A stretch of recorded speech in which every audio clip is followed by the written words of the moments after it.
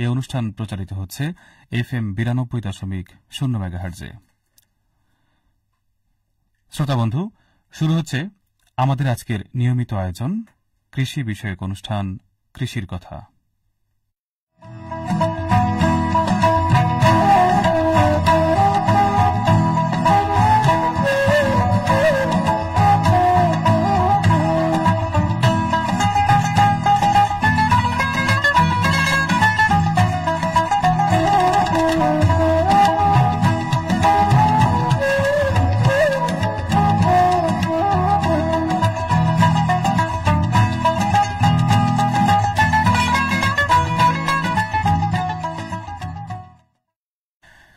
বাংলাদেশ বেতারের নিয়মিত পরিবেশনা মা মাটি মানুষের আয়োজন, কৃষি বিষয়ক অনুষ্ঠান, কৃষির কথায় আপনাদের সবাইকে স্বাগত জানাচ্ছি। আমি মোহাম্মদ মঞ্জুর এলাহি সৌরভ। কৃষির কথার আজকের পর্বে আমরা আলোচনা করব দারিদ্র বিমোচনে ছাগল পালন নিয়ে। তবে শুরুতেই থাকছে আমাদের নিয়মিত আয়োজন, কৃষি প্রতিদিন। পাঠ করে শোনাচ্ছেন মোহাম্মদ জাহিদ। সুপ্রিয় কৃষিজীবী ভাই ও বোনেরা, প্রীতি শুভেচ্ছা নিন। আশা করি সবাই ভালো আছেন। আজ একটি সম্ভাবনাময় ফসল। গোলমরিচের চাষাবাদ কৌশল সম্পর্কে কিছু বলব। আমাদের বিভিন্ন উপাদেয় অত্যাবশ্যকীয় খাবারের প্রয়োজনীয় উপকরণের মধ্যে গোলমরিচ একটি অন্যতম মশলা।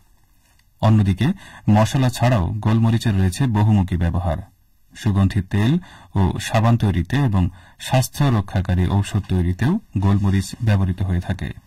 আমাদের দেশে কফ, কাশি ও শ্লেষ্মা জাতীয় অসুখ বিসুখের চিকিৎসায় চা পান সহ চিনি ও দুধের সাথে গোলমরিচের গোড়া মিশিয়ে পান করার রেওয়াজ আছে। গোলমরিচ বায়ু, কৃমি ও হৃদরোগ নাশক হিসেবে ব্যবহৃত হয়। তাছাড়া অবিরাম জ্বর, অর্শ, সর্দি, গনোরিয়া এবং পেট ফাঁপাও গোলমরিচের ব্যবহার রয়েছে। গোলমরিচের ফুলের রস, চিনিসহ সেবনে পিপাসা, শারীরিক বেদনা ও অলসতা দূর হয়। গোলমরিচে যেসব উপাদান রয়েছে তার মধ্যে প্রধান হল আমিষ শ্বেতসার, চর্বি, খনিজ লবণ, ভিটামিন বি এক, ভিটামিন বি দুই, ক্যালসিয়াম, লৌহ ও ক্যারোটিন। আমাদের দেশে ব্যাপকভাবে গোলমরিচের আবাদ দেখা না গেলেও বাংলাদেশের মাটি ও আবহাওয়া গোলমরিচ চাষের জন্য উপযোগী। বিশেষ করে সিলেট, চট্টগ্রাম ও পার্বত্য চট্টগ্রামের বিশাল পাহাড়ি এলাকায় গোলমরিচ চাষের বিপুল সম্ভাবনা রয়েছে। গোলমরিচ চাষের জন্য পঁচিশ থেকে ত্রিশ ডিগ্রি সেন্টিগ্রেড উষ্ণতা বিশিষ্ট আলোকময় স্থান হলে ভালো হয়। পানি নিকাশের সুব্যবস্থা রয়েছে, এমন জমি নির্বাচন করতে হবে।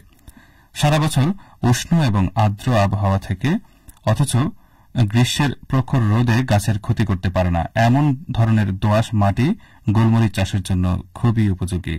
এসব বিবেচনায় চট্টগ্রাম ও পার্বত্য চট্টগ্রাম অঞ্চলের বিশাল পাহাড়ি এলাকায় গোলমরিচ চাষের জন্য খুবই সম্ভাবনাময়। গোলমরিচ একটি লতা জাতীয় ফসল। দেখতে অনেকটা পান গাছের মতো। তাই গোলমরিচ উৎপাদনের সাফল্য বেশিরভাগই বাউনির উপর নির্ভর করে। সেজন্য আমলকি, শিমুল, মাদার, সফেদা, কাঁঠাল, ইপিলিপিল, জিগা এসব জীবন্ত গাছ বাউনি হিসেবে ব্যবহার করা যেতে পারে। গোলমরিচ চাষের জন্য দুশো সেন্টিমিটার দূরত্বে সারি করে ষাট সেন্টিমিটার চওড়া ও ষাট সেন্টিমিটার গভীর করে গর্ত করতে হবে। চারা বা কাটিং রোপণের পূর্বে প্রতি গর্তে দশ কেজি গোবর, এক কেজি ছাই, বিশ গ্রাম ইউরিয়া ত্রিশ গ্রাম টিএসপি এবং চারা লেগে যাওয়ার পর তিনশো গ্রাম এমওপি সার প্রয়োগ করতে হবে। প্রথম কয়েক বছর গাছে একই হারে সার প্রয়োগ করতে হবে। গুটি ইউরিয়া সারের প্রয়োগের সুবিধা। হেক্টর প্রতি এক হাজার সাতশো ত্রিশ কেজি পর্যন্ত ফলন বেশি হয়। শতকরা পঁয়ত্রিশ ভাগ ইউরিয়া সার কম লাগে। বারবার ইউরিয়া প্রয়োগের ঝামেলা নেই, মাটিতে উপকারী অণুজীবের কার্যকারিতা বাড়ে, জমিতে আগাছা কম হয়, পরিবেশ দূষণমুক্ত থাকে, ভরা মৌসুমে সার সংকটের দুশ্চিন্তা থাকে না। প্রিয় শ্রোতা, আজ এই পর্যন্তই। আগামীকাল আবারও কথা হবে অন্য কোনো বিষয় নিয়ে। শোনার আমন্ত্রণ রইল। প্রিয় শ্রোতা, শুনছিলাম মোহাম্মদ জিহাদের পরিবেশনায় কৃষি প্রতিদিন। আমরা আছি কৃষি বিষয়ক অনুষ্ঠান কৃষির কথায়। বাংলাদেশের জাতীয় অর্থনীতির প্রবৃদ্ধি পুষ্টি নিরাপত্তা এবং দারিদ্র বিমোচনে প্রাণী সম্পদের অবদান খুবই গুরুত্বপূর্ণ। বাংলাদেশের প্রাণী সম্পদ একটি সম্ভাবনাময় এবং লাভজনক শিল্প হিসেবে প্রতিষ্ঠিত হয়েছে। সেই সাথে উপযুক্ত প্রযুক্তির উদ্ভাবন এবং সম্প্রসারণ প্রাণী সম্পদ খাতকে কর্মসংস্থান এবং গ্রামীণ দারিদ্র বিমোচনের অন্যতম হাতিয়ারে পরিণত করেছে। প্রিয় শ্রোতা, আপনাদের জন্য, কৃষক ভাই বোনদের জন্য আমাদের নিয়মিত আয়োজন কৃষির কথায় আজ আমরা আলোচনা করব দারিদ্র্য বিমোচনে ছাগল পালন এই বিষয়টি নিয়ে। এবং এই বিষয়টি নিয়ে আলোচনার জন্য আজ স্টুডিওতে আমাদের মাঝে উপস্থিত হয়েছেন ড মোহাম্মদ মনিরুজ্জামান অধ্যাপক এনিম্যাল সায়েন্স বিভাগ এনিম্যাল হাজবেন্ডারি অনুষদ বাংলাদেশ কৃষি বিশ্ববিদ্যালয়। স্যার কেমন আছেন আপনি? ভালো আছি সৌরভ। ধন্যবাদ তোমাকে। তুমি কেমন আছো? জি স্যার আমিও ভালো আছি এবং আমাদের পর্দার ওপারে কৃষক ভাই বোনেরা ছাড়াও আরও যারা বাংলাদেশ বেতারের শ্রোতারা রয়েছেন তারা অধীর আগ্রহে অপেক্ষা করছেন আপনার কথা শোনার জন্য। আমরা স্যার দেরি না করে আমাদের আজকের বিষয়ে চলে যাই। আমরা স্যার আজকে আলোচনা করব দারিদ্র্য বিমোচনে ছাগল পালন নিয়ে। স্যার আমরা পশুপালনে অনেকগুলো বিষয় আমরা মানে অনেক প্রাণী আমরা গৃহপালিত হিসেবে পালন করে থাকি। গরু পালন করি বা হাঁস মুরগি পালন করি। সেক্ষেত্রে স্যার ছাগল পালন আমরা কেন মনে করছি বা ছাগল পালনের সুবিধাগুলো স্যার আসলে কি কি? সেগুলো যদি বলতেন। হ্যাঁ, ধন্যবাদ সৌরভ। আসলেই এটা একটি গুরুত্বপূর্ণ প্রশ্ন যে ছাগল কেন এত গুরুত্বপূর্ণ? এত লাভজনক হওয়ার কারণ কি? জনপ্রিয় হওয়ার কারণ কি? আমাদের দেশের যে আবহাওয়া এটি আসলে ছাগলের জন্য খুবই একটি অনুকূল এবং ছাগল হচ্ছে যে ছোট্ট একটি প্রাণী তার সেটিকে লালন পালন করলে তার জন্য একটা বিপুল অর্থ বিনিয়োগের প্রয়োজন হয় না। এবং গরু যদি একটা পালন করা হয় যদি কোনো কারণে রোগ ব্যাধি হয় সেটি যদি তার উৎপাদনশীলতা হারায় বা যদি দুর্ভাগ্যক্রমে যদি মারা যায় তাতে কিন্তু কৃষকের অনেক বেশি লস হয়ে যায়। অর্থনৈতিক ক্ষতি অনেক বেশি। তো সেই ক্ষেত্রে ছাগলের যেহেতু মূল্য কম সেই কারণে তার ঝুঁকি অর্থনৈতিক ক্ষতির ঝুঁকিটি অত্যন্ত কম। এবং আমাদের দেশে যে ছাগল সাধারণত আমাদের দেশে দেখা যায় আমাদের দেশে দেশ কিন্তু বিশ- বিশ্বে ছাগল উৎপাদনে ছাগল পালনে সংখ্যার দিক থেকে আমরা চতুর্থ বিশ্বে। এবং এটি আমাদের যে যে ছাগলটি আমাদের আমাদের সবসময় রাস্তাঘাটে আমরা দেখি আশেপাশে সব জায়গাতেই সেটি হচ্ছে কালো রঙের ছাগল এবং তাদের জাতের নাম হচ্ছে ব্ল্যাক বেঙ্গল। কালো তারা মাঝে মাঝে বাদানি বাদামিও হতে পারে সাদাও হতে পারে। তবে এই ছাগলটি অত্যন্ত আমাদের এই গরম এবং আর্দ্র আবহাওয়াতে তারা টিকে থাকার ক্ষমতা রাখে। তাদের রোগ ব্যাধি কম। তারা এই কখনো খেয়ে কখনো না খেয়ে থাকলেও তাদের মধ্যে উৎপাদনশীলতার এমন তেমন হেরফের অন্যান্য জাতের ছাগলের মতো কিন্তু নয়। এবং আমাদের এই ছাগলগুলি অনেক বেশি বাচ্চা দেয়। বছরে দুবার করে বাচ্চা দেয় কমপক্ষে। এবং প্রতিবারে সে প্রথম বছরে অবশ্য একটি বাচ্চা দেয় কিন্তু প্রথমবার বাচ্চা দেওয়ার সময় কিন্তু তারপরে দুটা তিনটে কখনো কখনো পাঁচটা ছয়টা করে বাচ্চা। বাচ্চা কিন্তু আমাদের দেশে ছাগলের দেয় আমরা কিন্তু বিভিন্ন জায়গায় পেপার পত্রিকাও দেখি তথ্য জানি কৃষকদের সাথে কাজ করার সময় আমরা দেখি। জি স্যার। সুতরাং ছাগল এটাকে বলা হয় গরিবের গাভী। গরিবের সে কিন্তু দুধও দেয় এবং একটা ছোট্ট একটা পরিবারের পুষ্টি নিরাপত্তা অর্জনে দারিদ্র বিমোচনে এবং সর্বোপরি অর্থ আর্থসামাজিক উন্নয়নে আমাদের দেশে এই ছাগল অত্যন্ত গুরুত্বপূর্ণ আমাদের দেশের মতো দেশে যেগুলি আবহাওয়া একটু গরম এবং আমরা দরিদ্র দেশ এবং আমাদের কৃষকদের পুঁজি কম। অনেক বড় লার্জ অনেক জমা জমি নেই অনেক টাকা পয়সা নেই আমাদের দেশের বেশিরভাগ কৃষকের। সে কারণে ছাগল অত্যন্ত গুরুত্বপূর্ণ। জি স্যার। অনেক অনেক ধন্যবাদ। আপনি খুব চমৎকার ভাবে বলছিলেন যে আহ, এত কম পরিমাণ জায়গা লাগে বা পালন করাও অনেক সহজতর এবং কম সময়ে কিন্তু অনেক অনেক বাচ্চা দিয়ে থাকে। যে কারণে কিন্তু ছাগলকে বলা হয় গরিবের গাভী এবং আমরা স্যার এ পর্যায়ে একটু জানতে চাবো যে ছাগল পালনের এত যে সুবিধা সমস্যা কি নেই? কিছু কি সমস্যা আছে? হ্যাঁ সমস্যা তো আছেই। আমাদের দেশে যে ছাগলটি আছে এটার একটা সার্বিকভাবে আমরা যদি দেশের ছাগল পালনের চিত্রেও দেখি তাহলে আমাদের প্রধানতম সমস্যা হচ্ছে যে আমাদের চারণভূমির অভাব।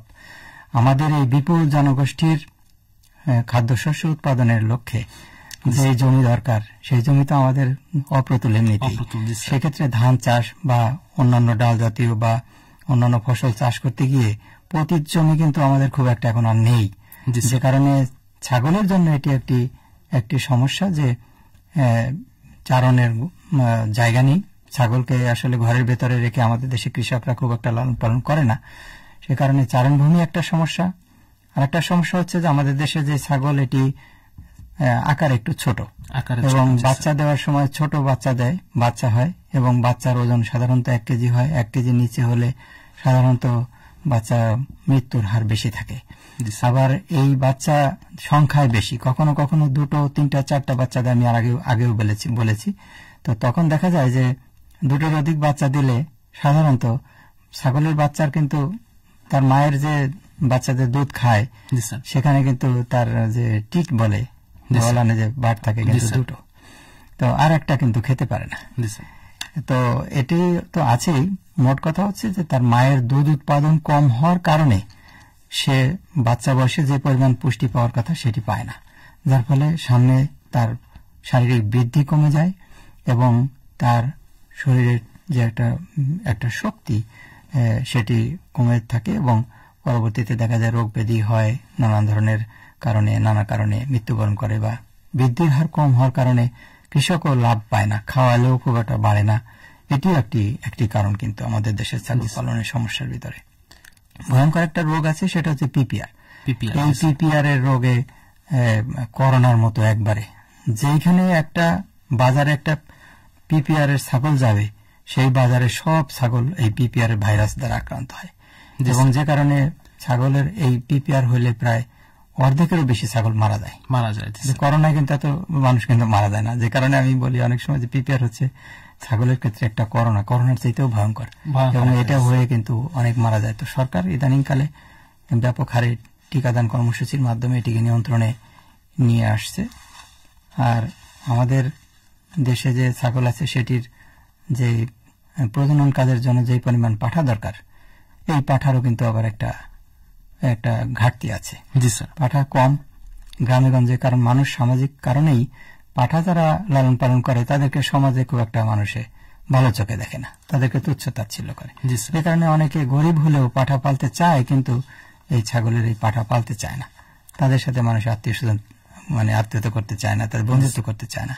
এসব কারণে পাঠারও সংকট যে কারণে আমাদের দেশে এটি একটি সমস্যা। পশু এই ছাগলের প্রজননের ক্ষেত্রে যে কারণে প্রাণী সম্পদ অধিদপ্তর থেকে বেশ কয়েকটি সরকারি খামার প্রতিষ্ঠা করা হয়েছে যে গ্রামে গঞ্জে কৃষক যারা চায় তাদেরকে পাঠা সরবরাহ করার জন্য।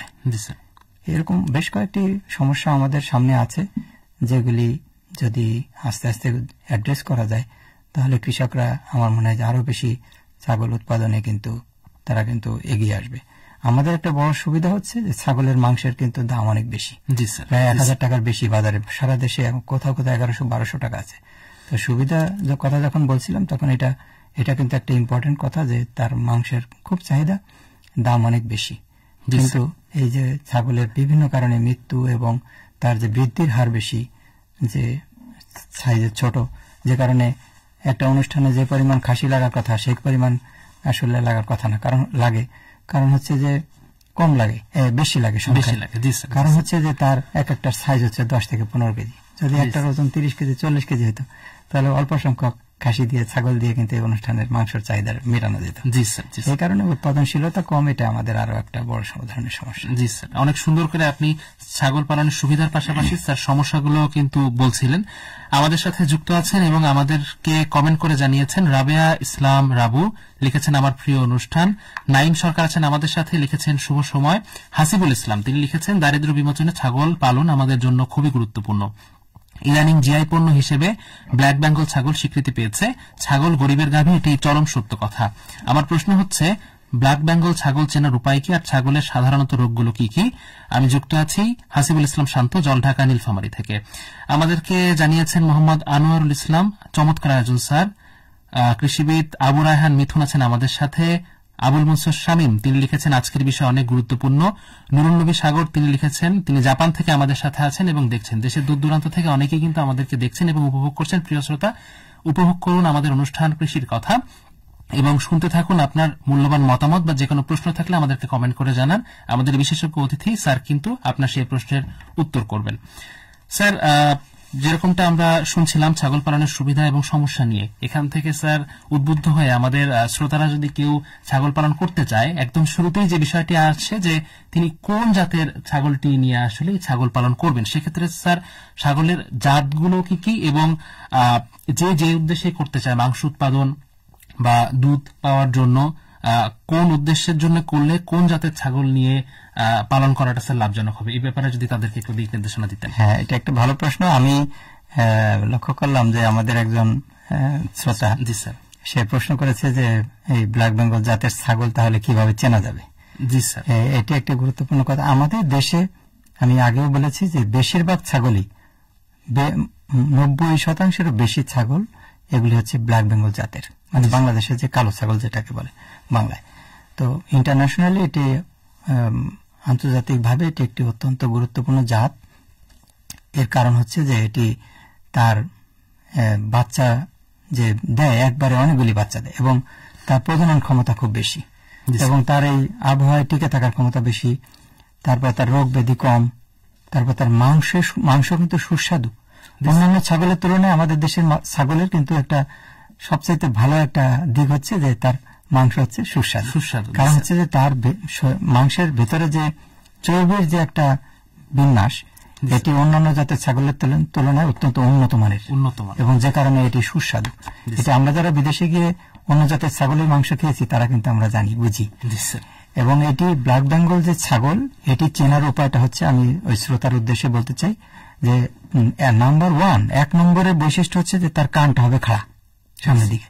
আর অন্যান্য জাতের ছাগল মোটামুটি কান ঝোলানো। ঝোলানো থাকে। ব্ল্যাক বেঙ্গলের ছাগলের কান খাড়া কান ঝোলা সরি কান সামনের দিকে থাকবে এবং এরকম আপরাইজ আপরাইজ থাকবে রেস থাকবে তো খাড়া থাকবে।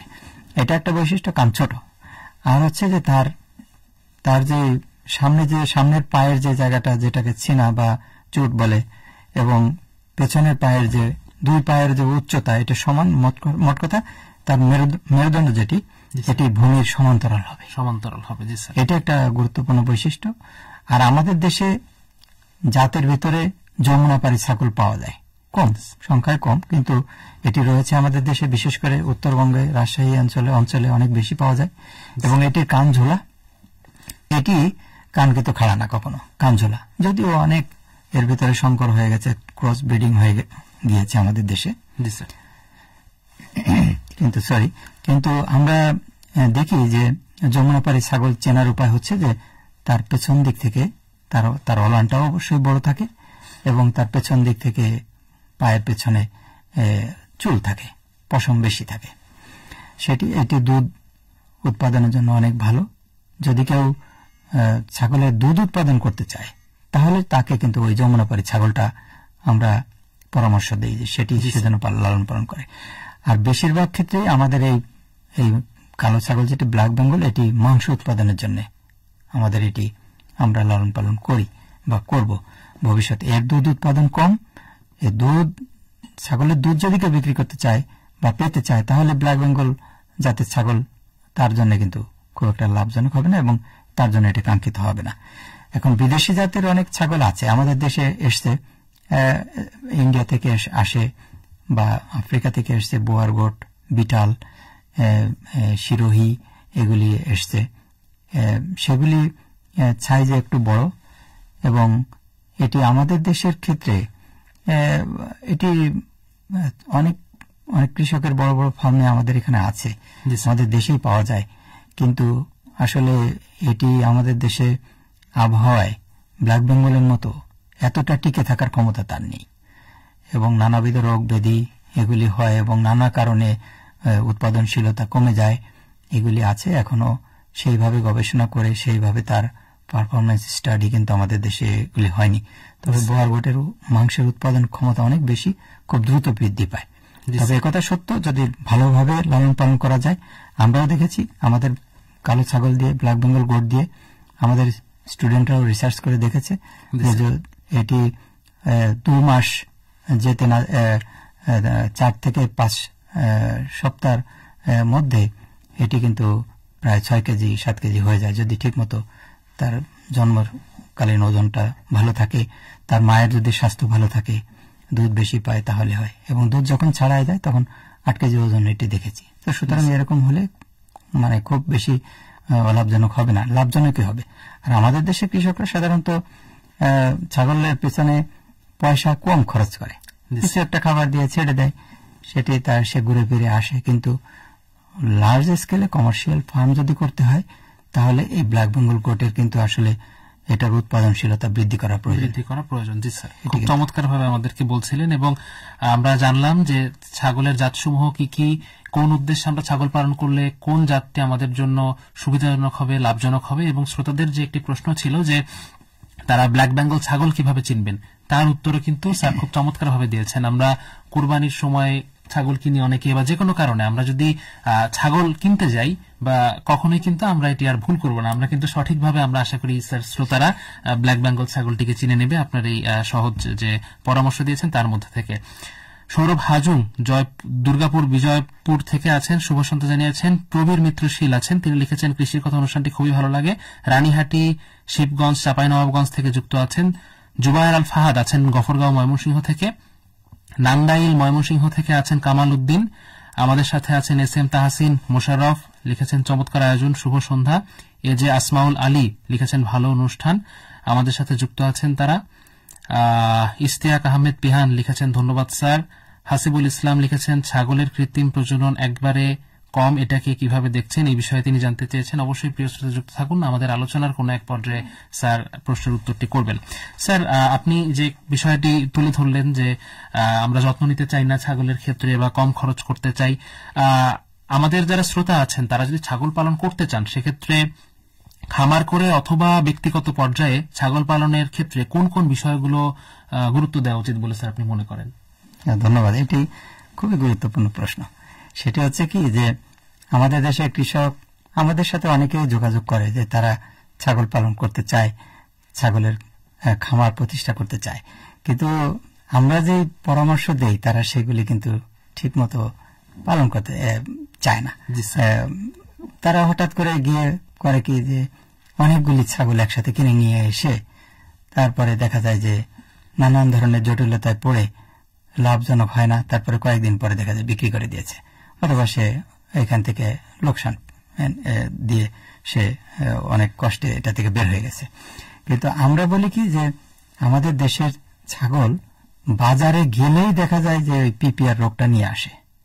এবং আমরাও বেশ কয়েকবারই ছাগল আমার জীবনে সর্বশেষ গত এক বছর আগে পিপিআর রোগে আমার বিশ্ববিদ্যালয় খামারে বেশ কিছু ছাগল মারা গিয়েছে।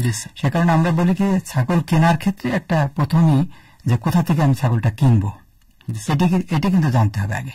যে সরকারি খামার থেকে আনতে হবে, অথবা কোনো অর্গানাইজড খামার, বাণিজ্যিক খামার, সেখানে ভ্যাকসিন দেওয়া থাকে, সেখানে রোগ প্রতিরোধের ক্ষমতা আছে ছাগলের, সেখানে ব্যবস্থাপনা ভালো আছে, অথবা গ্রামে গিয়ে দেখে শুনে ছাগল কিনে নিয়ে আসতে হবে।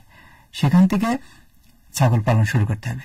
কিন্তু বাজারে গিয়ে বিশটা করে নিয়ে আসলাম, ওই হাট থেকে আর বিশটা নিয়ে আসলাম দেখা গেল যে কোনো একটার ভিতরে এই রোগ ছিল যে কারণে কিন্তু সমস্যা আসছে। যে কারণে কিন্তু সমস্যা এবং আমাদের এটা এটাও করা প্রয়োজন প্রয়োজন হলে যে যে খামার থেকে কিনবো সেখানেই ভ্যাকসিন দিয়ে রাখতে হবে। রেখে দেখে তারপর নিয়ে আসতে হবে। প্রথমে ছাগল কিনলে তাকে তার যত্ন নিতে হবে। আগে যদি ছাগল থেকে থাকে প্রথমগুলিকে আইসোলেট করে রাখতে হবে। যে সেটি ওই যে কোয়ারেন্টাইন যেটাকে বলে। মানুষের ক্ষেত্রে প্রথমে করোনা হয়ে বিদেশ থেকে আসলে তাকে প্রথমে একটা হোটেলে থাকতে হইতো। যেখান থেকে কোথায় নিয়ে রাখা হইতো করোনা হলে। এবং আস্তে আস্তে সেটাকে কিন্তু মানে আমাদের আত্মীয় স্বজন বা বাড়িতে যাওয়ার জন্য তাকে অনুমতি দেওয়া হতো।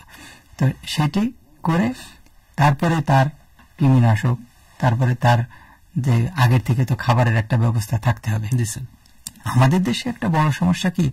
যে আমাদের দেশে যে আমি যদি ছাগল পালন করতে চাই তার জন্য এই ছাগলটা কোথায় পাবো? এটি একটা সংকট আমাদের দেশে। আমি যদি চাই যে আগামী সপ্তাহে আমি এক লক্ষ ব্রয়লার এই বাংলাদেশ কৃষি বিশ্ববিদ্যালয়ে রাখতে চাই। আমি কিন্তু সেটি অর্ডার দিলে কিন্তু সেই ব্রয়লারের বাচ্চা আগামী সপ্তাহে না হইলেও বলবে যে আগামী মাসে নেন স্যার সমস্যা নেই। কিন্তু আমি যদি বলি যে একশো ছাগল আমি কিনবো আপনারা আমাকে খুঁজে দেন ছাগলের বাচ্চা যেটার বয়স ছয় মাস বাজারে গিয়ে পাওয়া যায় না। পাওয়া যায়। না। আবার যে মা ছাগল দিয়ে যে ফার্ম করব সেটিও আমাদের এখানে পাওয়া যায় না। এটি একটি সংকট। আমার মনে হয় যে এই সংকট থেকে উত্তরণের জন্য সরকারকে পদক্ষেপ নিতে হবে যে আমাদের ব্ল্যাক বেঙ্গল গোটের বড় আকারের ব্রিডিং ফার্ম করতে হবে। ব্রিডিং ফার্ম থেকে বাচ্চা বা যে যে ধরনের ছাগল কিনে নিতে চায় কৃষকদেরকে দিতে হবে। আমাদের সরকারের এখন পলিসি হচ্ছে কি যে শুধুমাত্র পাঠা সরবরাহ করবে এবং ফিমেলগুলি কিন্তু তারা দিতে চায় না। তো পাঠা নিয়ে শুধু কীভাবে ফার্ম করবে তারা কৃষকরা? একটা দুইটা পাঠা গ্রামে যেগুলো পাঠার প্রয়োজন সেখানে সেই পাঠাটা সরবরাহ করে। কিন্তু এই ব্ল্যাক বেঙ্গল ছাগলের এত যে প্রসপেক্ট এবং বিদেশেও কিন্তু আমরা এটা রপ্তানি করতে পারতাম যেহেতু তার মাংসের এত স্বাদ সেই ক্ষেত্রে আমরা আমাদের লার্জ স্কেল ফার্মের কিন্তু বিকল্প নেই। এখন ফার্ম করতে গেলে সবাই ভাবে কি যে ছাগলকে ছেড়ে দেব ঘুরে ফিরে এসে খেয়ে এমনিতেই আমাদের লাভ হয়ে যাবে। কিন্তু না আমরা গবেষণা করে দেখেছি আমাদের বাংলাদেশ প্রাণী সম্পদ গবেষণা প্রতিষ্ঠান তারাও করে দেখেছে যে যদি ছাগলকে ঘরের ভিতরে রেখে স্টলে রেখে স্টল ফিডিং যেটাকে বলে যে যে ছাগল সাধারণত মাচায় রাখা হয় উঁচু জায়গায় রাখা হয় মাচায় রেখে যদি সেখানে খাবার দেওয়া যায় তাতেও কিন্তু লাভজনক হবে। অলাভজনক হবে না এবং ছাগল রাখা যায়। অনেকের ধারণা ছিল যে ব্ল্যাক বেঙ্গল গোট ফার্মে কিন্তু ফার্মিং কন্ডিশনে টিকে থাকে না। এখন আমাদের বাংলাদেশ কৃষি বিশ্ববিদ্যালয় ফার্মে প্রায় দেড়শোর মতো ছাগল আমাদের আছে। সেটি কিন্তু আমরা কিন্তু বাইরে ছেড়ে দিই না। ও ঘরের ভেতরেই কিন্তু আছে। এবং সেটি কিন্তু সম্ভব। এমন কোন রোগ ব্যাধিও কিন্তু নাই সেখানে। তারা ভালোই আছে। সুতরাং খামারিকে বুঝতে হবে যে তার যদি চারণভূমি না থাকে তাহলে সেই পদ্ধতিও কিন্তু আছে। এখানেও কিন্তু সেটিও কিন্তু সম্ভব। সুতরাং এই বিষয়গুলি কৃমিনাশক দেওয়া কৃমি উকুন দমন তারপরে ঘাসের যে ব্যবস্থা তাকে কিন্তু ঘাস দিতে হবে। ঘাস খেলে কিন্তু অর্থনৈতিকভাবে লাভজনক। এবং এটা একটা মজার কথা কি ছাগলে কিন্তু খড় খায়। আচ্ছা আচ্ছা। এবং আমরা অনেক কৃষক ভাবে কি যে গরুকে খড় খাওয়ানো যাবে কিন্তু ছাগল তো গাছের একটা পাতা খাওয়াইতে হবে শুধু। কিন্তু আসলে কিন্তু তা না ছাগল খড় খায়।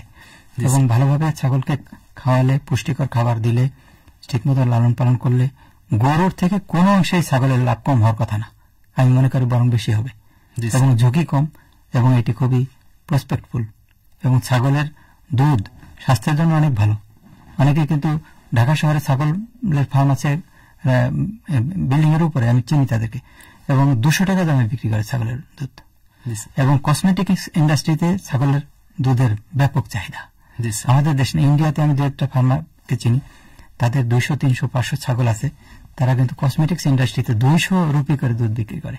জি স্যার বাইরে কিন্তু গরুর দুধ কিন্তু চল্লিশ পঞ্চাশ রুপি। জি স্যার অনেক চমৎকার ভাবে বলছিলেন যে খামার বা ব্যক্তিগত পর্যায়ে কোন কোন বিষয়গুলো আমাদের মাথায় রাখা উচিত এবং খামারেরা প্রথমে যে ভুল করে থাকে ছাগল নিয়ে আসার সময় রোগাক্রান্ত ছাগল নিয়ে আসে বা বিভিন্নভাবে যে ভুলগুলো করে থাকে সেখান থেকে পরিত্রাণ পাওয়ার উপায়গুলো কিন্তু স্যার চমৎকার ভাবে বলছিলেন। আমাদের সাথে আছেন খালিদ হোসেন, লিখেছেন শুভ ও সুস্বাস্থ্য কামনা করছি। বিনোদ আছেন আমাদের সাথে, হাসিবুল ইসলাম যুক্ত আছেন আমাদের সাথে, মোহাম্মদ আনোয়ারুল ইসলাম লিখেছেন, স্যার অনেক সুন্দরভাবে কথাগুলো বলছেন, উপস্থাপন এবং ব্যাখ্যা করছেন। স্যারকে ধন্যবাদ জানিয়েছেন। জান্নাতুল সোমা যুক্ত আছেন ময়মনসিংহ থেকে। আহিরুল ইসলাম লিখেছেন, ধন্যবাদ শ্রদ্ধেয় স্যার, যুক্ত আছে পটুয়াখালী থেকে। কৃষিবিদ নাজমুল ইসলাম ধন্যবাদ জানিয়েছেন স্যারকে সুন্দর আলোচনার জন্য। ইমা আহমেদ নান্দাইল থেকে আছেন জেডেইস মাহিন সহ আরও অনেকে আমাদের সাথে যুক্ত আছেন। স্যার আমরা এ পর্যায়ে একটু যেতে চাই ছাগলের বাসস্থানটা আসলে কেমন হওয়া উচিত? এটা একটা ইন্টারেস্টিং কথা। সেটা হচ্ছে কি যে সব প্রাণী কিন্তু মোটামুটি ফ্লোরে থাকে। জি স্যার। কিন্তু ছাগলকে রাখতে হয় আবার মাচায়। জি স্যার। ছাগলের একটি বৈশিষ্ট্য হচ্ছে যে আমরা যদি এখানে একটা ছাগল রেখে যাই জি স্যার। একটু পরে এসে দেখব ছাগলটা চেয়ারের উপরে না হলে টেবিলের উপরে। আচ্ছা। সে কিন্তু মাটিতে থাকতে চায় না। জি স্যার আর একটা যে মাচায় রাখার কারণে তার ইউরিন যে প্রস্রাব পায়খানা আমরা ফার্মে করে কি ছোট ছোট করে একেবারে জাস্ট মানে এক সেন্টিমিটারের মতো করে ফাঁকা রেখে আমরা মাচা তৈরি করি। একটা কাঠ থেকে আর একটা কাঠের বা একটা বাঁশ দিয়েও করা যাবে। ফলে হচ্ছে কি ছাগলের যে প্রস্রাব পায়খানা সব নিচে পড়ে যায় এবং উপরে শুকনো জায়গায় ছাগল ভালোভাবে থাকে। ছাগল। স্যাঁতস্যাঁতে পরিবেশ পছন্দ করে না। এবং ছাগলের তার যে ইউরিন বিশেষ করে এটার গন্ধ ছাগলের স্বাস্থ্যের জন্য ক্ষতিকর ক্ষতিকর। এবং ছাগল অস্বস্তি বোধ করে। ছাগল পরিষ্কার পরিচ্ছন্ন এবং শুকনো জায়গা থাকতে পছন্দ করে। ছাগল ছাগল কিন্তু ড্যাম্প ওয়েদারও ছাগলের পছন্দ হয়। বৃষ্টি কিন্তু ছাগল এই কারণে অ্যাভয়েড করে। আমরা জানি যে বৃষ্টি পাইলে ছাগল কিন্তু ডাকাডাকি করে এবং গোসলও করানো হয় না ছাগলকে।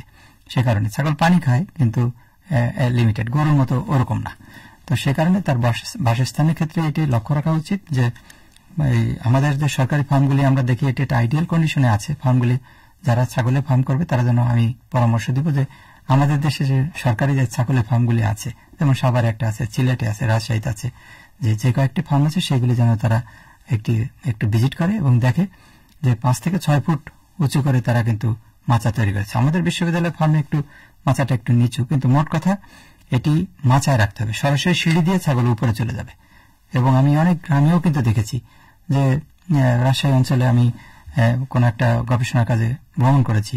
এখন আমি আমার ভালুকাতে একটা গবেষণা চলছে। সেখানে দেখলাম যে আমার মাথা সমান উঁচু করে তারা মাচা তৈরি করে ছাগলকে সিঁড়ি দিয়ে দিয়েছে। সে ছাগল সেখানে থাকে এবং নেট দেওয়া আছে বাতাস যায় এবং বৃষ্টি ঠেকানোর জন্য ব্যবস্থা আছে শীত ঠেকানোর জন্য ব্যবস্থা আছে এবং গ্রামের কৃষকরা এগুলি এখন অনেক জানে। অনেক এবং এগুলি হাউজিং এর ক্ষেত্রে গৃহ সংস্থানের ক্ষেত্রে ছাগলের একটু যত্নবান না হলে নানাবিধ রোগ ব্যাধি ঠান্ডা লাগা কাশি বা আরও আরও অনেক রোগের সংক্রমণ ঘটতে পারে কৃমি হতে পারে যে কারণে এটি অত্যন্ত গুরুত্বপূর্ণ বাসস্থান। জি স্যার অনেক সুন্দর করে বলছিলেন বাসস্থানের পরেই স্যার যে বিষয়টা আসে সেটা হচ্ছে ছাগলের খাবার। আমরা কেমন খাবার দিব খাবারের ধরনটা কেমন হবে এবং তার খাবারে কোন কোন খাদ্য উপাদানের প্রাধান্য রাখা উচিত বা অনেকেই এই বিষয়গুলো জানতে চাচ্ছেন যে ছাগলের ওজন অনুযায়ী আসলে কতটুকু খাবার দিতে হবে।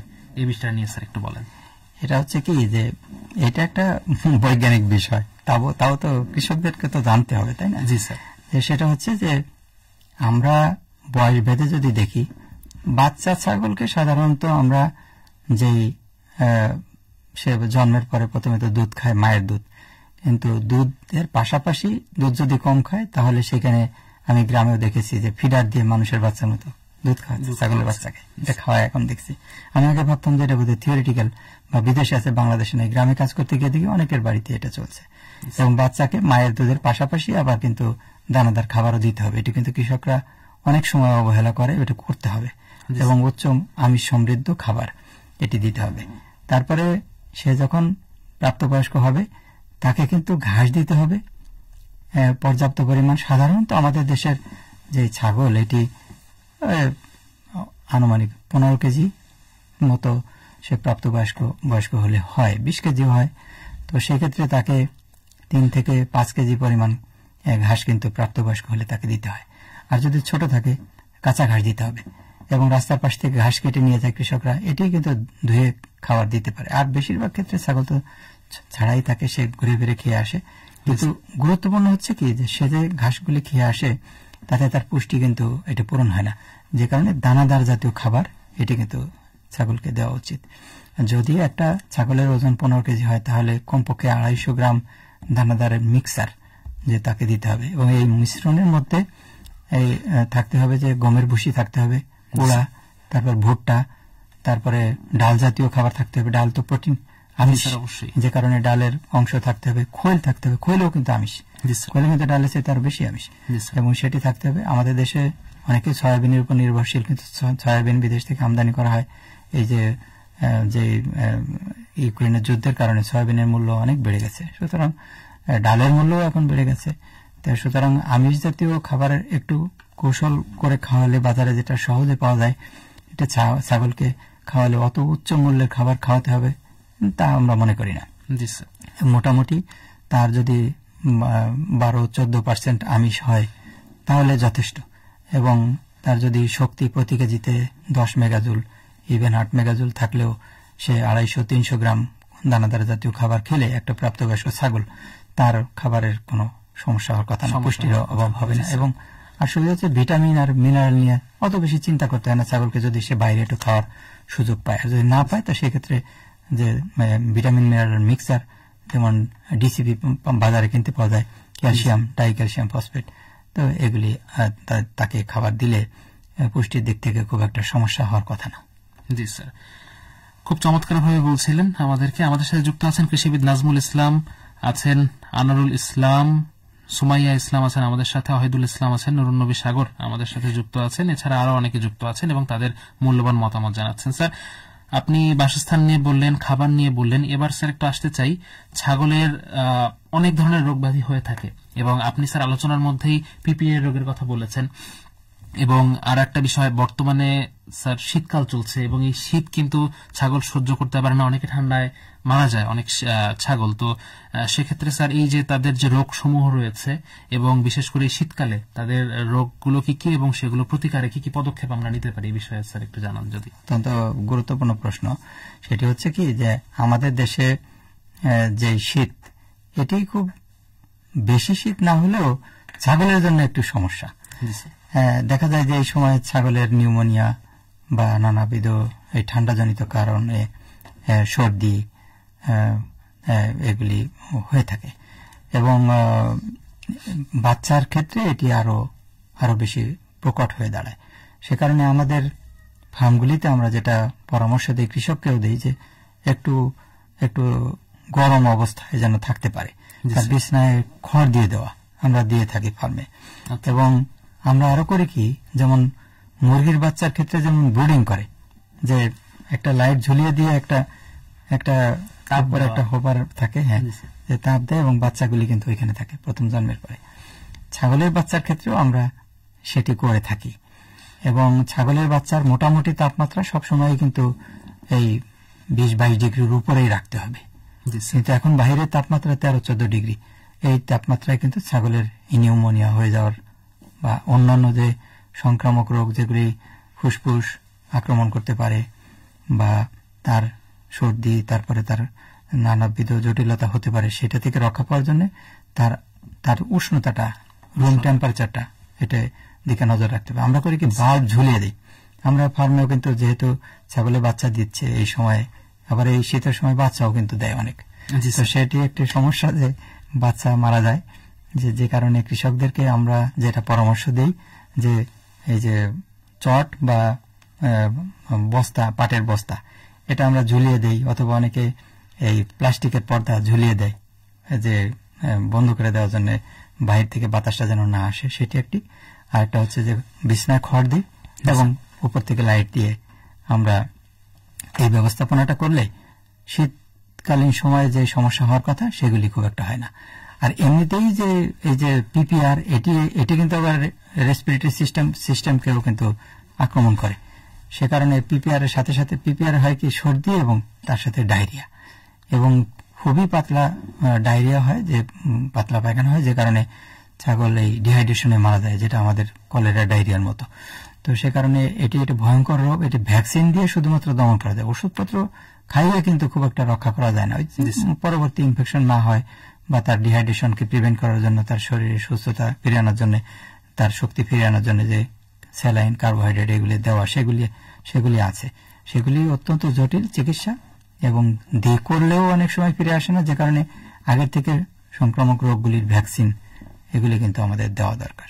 জি স্যার খুব চমৎকার ভাবে বলছিলেন ছাগলের রোগ এবং এই রোগের প্রতিকারে আমরা কি ব্যবস্থা নিতে পারি সেই বিষয়ে। আমাদের সাথে আছেন আহ, দেবব্রত রয় শুভকামনা জানিয়েছেন স্যারকে। মোহাম্মদ বিমানুল সরকার সাদ আছেন আমাদের সাথে। ডাক্তার আহসান হাবিব, তিনি আছেন দীপক চক্রবর্তী। দীপক আছেন পঞ্চগড় থেকে। নাজমুল ইসলাম আছেন, এছাড়া আরও অনেকে আমাদের সাথে যুক্ত আছেন। স্যার, আমরা প্রায় শেষ পর্যায়ে। আমি, স্যার, আপনার কাছে শেষের দিকে জানতে চাই যে আপনি কি মনে করেন দারিদ্র বিমোচনে ছাগল পালনের ভূমিকা বা ভবিষ্যৎ সম্ভাবনা আপনি কতটুকু দেখছেন? আমি আমি বাংলাদেশে আসলে ব্ল্যাক বেঙ্গল গোট বিদেশে রপ্তানি করা সম্ভব। এই ধরনের সম্ভাবনা আমি দেখি এবং ডলার আমাদের দেশে নিয়ে আসা মুদ্রা। সম্ভব বৈদেশিক মুদ্রা মুদ্রা অর্জন করা। এজন্য আমি আমি বলব যে যারা উদ্যোক্তা আছে তাদেরকে এগিয়ে আসতে হবে এবং সরকারকেও এগিয়ে আসতে হবে। আমাদের দেশে অনেকেই বলে আমার অবশ্যই কথাটি বলা কি ঠিক কিনা কারণ আমি ওইগুলি বিজনেস আমি বুঝি না কিন্তু আমি একজন বিজ্ঞানী হিসেবে বলব যে কৃষ- কৃষককে বা উদ্যোক্তাকে যদি ঝুঁকি না নেয় তাহলে কিন্তু হবে না। একেবারেই যে সবকিছু তৈরি করে তাকে খাওয়াতে দেওয়া হবে, আর সে সেখান থেকে ব্যবসা করবে তা না। ঝুঁকি নিয়ে এবং সময় নিয়ে ধৈর্য সহকারে কিন্তু ছাগলের ফার্ম করতে হবে। একবারেই এক হাজার ছাগল নিয়ে এসে পরে ব্যবসা শেষ করে না দিয়ে অল্প অল্প করে ছাগল যে পঞ্চাশটা ছাগল নিয়ে ব্যবসা শুরু করলাম, একশোটা ছাগল নিয়ে তিন বছর, পাঁচ বছর পরে ব্যবসা শুরু করলাম। আমাদের দেশে নাটোরে অনেক বড় একটা ছাগলের ফার্ম আছে। সেখানে তাদের পাঁচশো, ছয়শো ছাগল আছে। এবং সরকারি ফার্মগুলিতে কিন্তু অনেক ছাগল। সেখানে কিন্তু মৃত্যুর হার খুব একটা বেশি নাই। এবং এডিএল আমেরিকান ডেয়ারি লিমিটেড তাদের ছাগলের ফার্ম আছে অনেক বড় ছাগলের ফার্ম তাদের। আমাদের বিশ্ববিদ্যালয়ে এখন দেড়শো ছাগল আছে আমাদের। তো ছাগলের একটা প্রসপেক্ট আমাদের আছে কমার্শিয়ালাইজেশন সামনে আসবে। এই যে যে স্ক্যানিং সিস্টেমে একটা দুটো করে ছাগল পালন এটি কিন্তু সামনে থাকবে না। সুতরাং সেই লক্ষ্যে আমাদের সরকারেরও উচিত এই ট্রান্সফরমেশন যে হচ্ছে যে আগামী দিনের কৃষি কিন্তু হবে অন্যরকম। সেটি কিন্তু ফোর্থ জেনারেশনের যে যে ইন্ডাস্ট্রিয়াল রেগুলেশন তার সাথে সাথে আমাদের দেশে কৃষি ব্যবস্থা বা লাইভ স্টক রেয়ারিং টোটালি এবং গোট হাজবেন্ডি প্র্যাকটিস এটা প্রোডাকশন সিস্টেম এটা কিন্তু চেঞ্জ হয়ে যাবে। সেই লক্ষ্যে সরকারকে আমার মনে হয় যে নজর দেওয়া দরকার। সেই সাথে আমাদের কৃষকদের উদ্যোক্তাদের তাদেরও এগিয়ে আসতে হবে। আমাদের সকলের প্রচেষ্টা আমি মনে করি যে আমাদের দেশে যে একটা সুন্দর জাত এটি গর্ব করার মতো। এবং অনেক দেশে বলে যে তোমরা এই ব্ল্যাক বেঙ্গল ছাগল নিয়ে কাজ করো। এটির অন্য দেশে এমন দেখেছি যে যেমন জাপানে যে একটা গরু আছে এমন গরু যে সেটার মাংস অন্য গরু থেকে দশ গুণ বিশ গুণ দাম। আমাদের ব্ল্যাক বেঙ্গল ছাগলও কিন্তু এমনই একটা জাত যার মাংসের মূল্য কিন্তু এরকম অন্য ছাগলের চাইতে পাঁচ গুণ হওয়া সম্ভব। সম্ভব। সুতরাং আমরা এটি বিদেশে সেই উচ্চ মূল্যে বিক্রি করে আমরা বৈদেশিক মুদ্রা অর্জন আমরা করতে পারি। সেই লক্ষ্যে আমাদের সকলের কাজ করা উচিত আমি মনে করি। এবং যারা যারা এখানে যুক্ত আছে যারা আমাদের শুভেচ্ছা জানিয়েছে সবাইকে আমি আন্তরিক ধন্যবাদ জানাচ্ছি। জি, স্যার, অনেক অনেক ধন্যবাদ এবং আমরা সবাই মিলে কাজ করব। এই প্রাণী সম্পদ ক্ষেত্রটিকে আমরা সামনের দিকে এগিয়ে নিয়ে যাব এবং আমাদের সবার প্রচেষ্টাই কিন্তু গড়ে উঠবে স্মার্ট কৃষি এবং স্মার্ট বাংলাদেশ। সেই লক্ষ্য নিয়েই আমরা আমাদের আজকের আয়োজন এখানে শেষ করব। আমরা আজকে কৃষির কথায় আমাদের বিষয়টি ছিল দারিদ্র বিমোচনে ছাগল পালন এবং এই বিষয়টি নিয়ে আমাদের সাথে আলোচনা করলেন ডক্টর মোহাম্মদ মনিরুজ্জামান, অধ্যাপক, এনিম্যাল সায়েন্স বিভাগ, এনিম্যাল হাজবেন্ডারি অনুষদ, বাংলাদেশ কৃষি বিশ্ববিদ্যালয়। এবং আপনারা যারা যুক্ত ছিলেন, আপনাদের সবাইকে অনেক অনেক ধন্যবাদ। যুক্ত থাকার জন্য দেখা হবে কৃষির কথার আগামী পর্বে। সে পর্যন্ত ভালো থাকুন, সুস্থ থাকুন মা মাটি মানুষের সাথে থাকুন, দেশের কৃষিকে ভালোবাসুন। ধন্যবাদ সবাইকে। সবাইকে ধন্যবাদ।